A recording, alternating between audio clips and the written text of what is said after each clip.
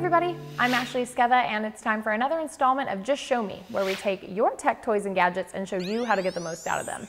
Today I'm going to show you how to connect to a wireless internet connection in your home on your PlayStation 3. So we have our trusty PS3 controller with us today. And the reason you would want to do this is because connecting to the internet on your PlayStation 3 will allow you access to the PlayStation browser, it will allow you access to the PlayStation Store. On top of that, you can also play multiplayer games and you'll have a slew of other apps and things you have access to like Netflix. Now the first thing that you want to have available before we get started is your router name and password. If you're not sure what that is, ask the person who manages your internet connection in your household or call your internet service provider and they'll help you find that information. So once you have that, let's get started. On your PlayStation account, you want to sign into your profile from the home screen. And from there, we're going to just go one column over to settings. When you head into settings, you want to scroll all the way down to the bottom to network settings.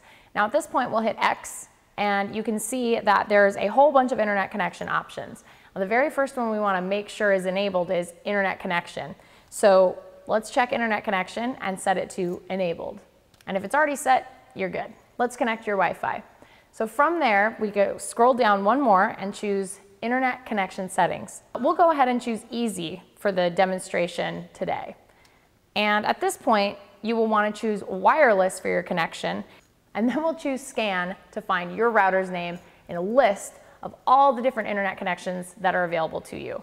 Find yours with your router name and select it with X. So after double checking and confirming your router name on the next screen, your PlayStation 3 will ask you if your router has a password.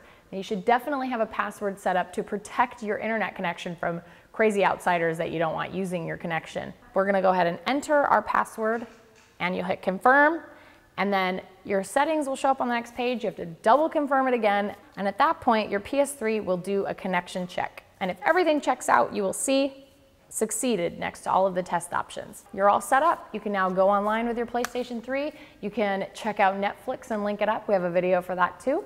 And you can do all of the things that make PlayStation online networking so much fun. Well, that's how to set up wireless internet on your PlayStation 3. I'm Ashley Esqueda, and that's been Just Show Me on Tecca TV. Be sure to check out Tecca.com for all of our other content, and we'll see you next time.